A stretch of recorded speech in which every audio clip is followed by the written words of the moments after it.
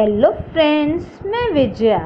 दोस्तों, आज हम आपसे बात करेंगे इस ब्यूटीफुल येलो रेन लिली के बारे में। इसे येलो फेरी लिली भी बोलते हैं। इसका बोटैनिकल नेम जिफिरेंथा सिट्रीना है। ये एक रेन लिली की ही वैरायटी है। ये जून के महीने में जब बारिश शुरू होने लगती है, उस समय ये खिलने लगते हैं।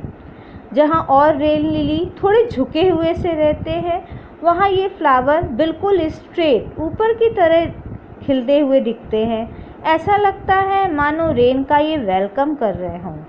ये नेटिव प्लांट हैं, South Eastern America, South America और सेंट्रल अमेरिका का। इन फ्लावर्स की जो चौड़ाई है, ये एक डेढ़ इंच लंबी होती है और लेमन येलो कलर में ही आते हैं। ये उगते हैं एक वीड की तरह।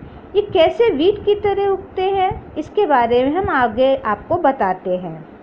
इनको फ्रेंड्स मैंने दो साल पहले एक ऐसे ही खाली ग्राउंड में उगते देखा था, जहाँ पेड़ पौधों का थोड़ा सा कचड़ा पड़ा था। बरसात के सीज़न में ये बहुत खिले थे वहाँ पर। मैंने बड़ी हिम्मत करके वहाँ गई और इसको मैंने खोदना शुरू करा।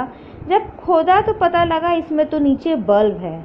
उस सीज़न मैं उसको वहाँ से एक बल्ब ले आई और मैंने लगा दिया।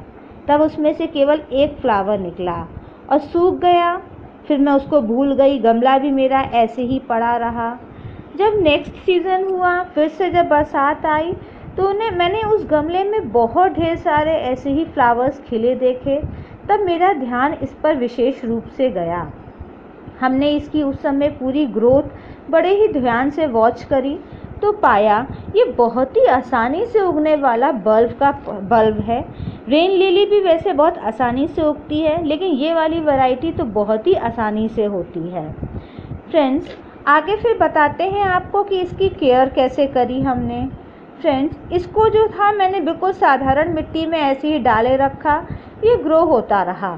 कभी इसको मैंने ऐसे ही बाहर, जहाँ ऐसी जगह डाल दिया, जहाँ कभी धूप लगी कि नहीं बाद में पता चला कि ये इंडोर भी ग्रो हो सकता है, लेकिन इंडोर का मतलब है कि जहाँ ऐसी जगह रखें जहाँ की कम से कम दो घंटे की थोड़ी बहुत धूप तो ज़रूर आए।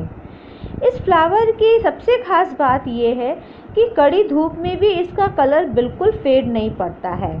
इसके सुंदर कलर देख करके अब मैं थोड़ी बहुत इसकी केयर करने भी लग गई हूँ। इसके ब्राइट कलर के कारण पॉलिनेटर्स जैसे कि बटरफ्लाई बीज इसके आसपास मंडराते रहते हैं। इसकी जो लीव्स दिख रही हैं, ये पतली पतली बिल्कुल घास की तरह होती हैं।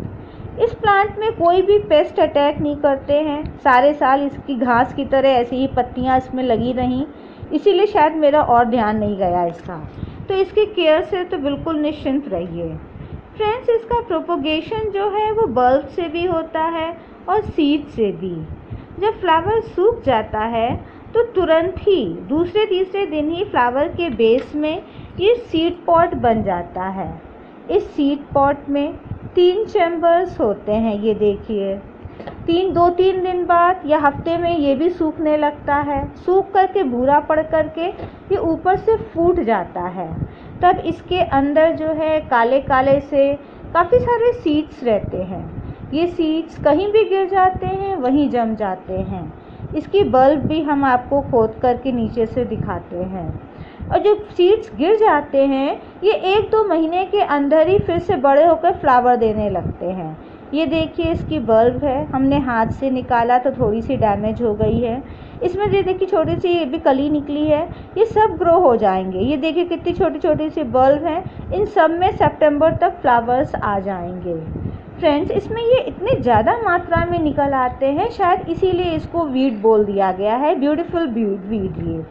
फ्रेंड्स ये बहुत खूबसूरत लगते हैं। अगर आपको कहीं मिलता है तो इसको ज़रूर लगाइए। ये देखिए, हम आपको खोल करके इसको डैमेज करके सीड्स दिखाते हैं। ये समय कच्ची है, इसलिए देखिए सफ़ेद सफ़ेद से सीड निकल रहे हैं। बाद में यही पक जाते हैं। फ्रेंड्स बहुत मुझे उम्मीद है कि आपको मेरा इन्फॉर्मेशन पसंद आई होगी। मैं इनको वापस लगा देती हूँ, ये फिर से अच्छे से लग जाएँगे और फ्लावरिंग देंगे। अगर मेरी इन्फॉर्मेशन पसंद आई हो तो लाइक का बटन ज़रूर दबाइएगा और अच्छे से इन्फॉर्मेशन पाने के लिए मेरे चैनल को सब्सक्राइब भी करिएगा। अपना ध्यान रखिएगा और अधिक से अधिक पेड़ लगाइए। धन्यवाद